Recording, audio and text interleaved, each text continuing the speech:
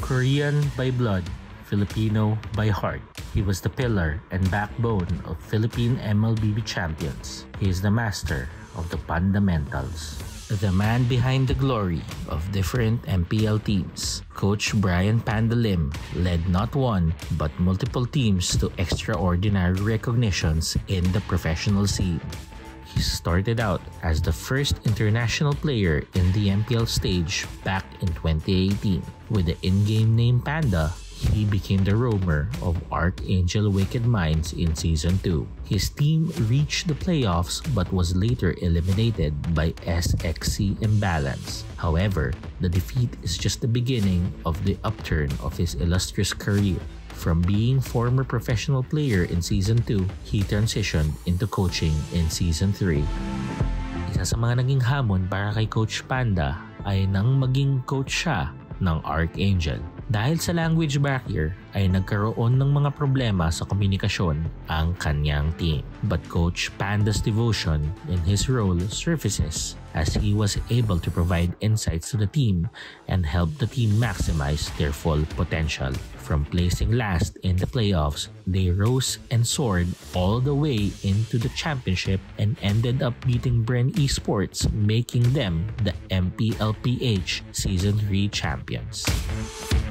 Sa parehong taon, nakuha din ng Archangel ang ikatlong pwesto sa MSC 2019. Patuloy na nakilala si Coach Panda nang siya ay napiling maging coach ng Philippine National Team na Sibol sa 2019 Southeast Asian Games sa Mobile Legends Esports category. Matapos makuha ang playoff spot laban sa Thailand, nanalo sila sa pamamagitan ng isang kapanapanabik na do or die match laban sa Indonesia noong Grand Finals. Dito ay nasungkit nila ang unang gintong medalya sa SEA Games Esports Competition para sa Pilipinas. Sa pagpasok ng Season 4, nabigo ang Archangel na makakuha ng pwesto sa playoffs. Bumalik siya sa coaching pagkatapos ng dalawang season kung saan noong 2021 ay ginabayan niya ang Laos Playbook Esports. Humarap sila sa qualifiers ngunit nalaglag din sa playoffs.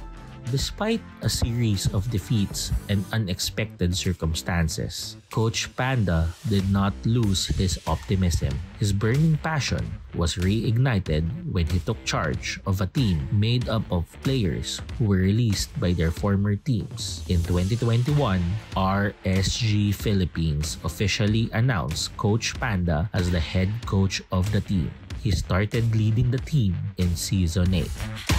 Adjusting to the new roster, the team was eliminated early in the playoffs, but Coach Panda was eager to prove that the so-called Chop Suey team could become champions. RSGPH dominated the entirety of Season 9, gaining 8 consecutive sweeps with 11 wins and 3 losses. With Coach Panda's iconic coaching style and hard work, he successfully pushed RSG to become the newly crowned kings of MPL. Even without Coach Panda's presence, he continued helping RSG Philippines in the Mobile Legends Bang Bang Southeast Asia Cup 2022. The team retained its momentum and celebrated their triumph with a clean sweep in the championship against RRQ Hoshi. RSGPH winning two titles in a year proved his significant role to the team and that he is indeed a remarkable coach. Coach Panda's guidance, passion, and positive mindset have led aspiring souls to success and to be recognized in the community. His long list of accomplishments truly justifies that he is one of the best coaches in MPL.